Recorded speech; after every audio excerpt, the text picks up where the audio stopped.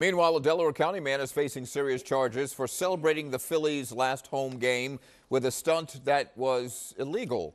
20-year-old Luke Lulevitch was arrested last night after running onto the field at Citizens Bank Park during the sixth inning right here. The Wallingford man was tackled by security in the outfield while the game was paused. Lulevitch has been charged with several offenses, including criminal trespass and disorderly conduct.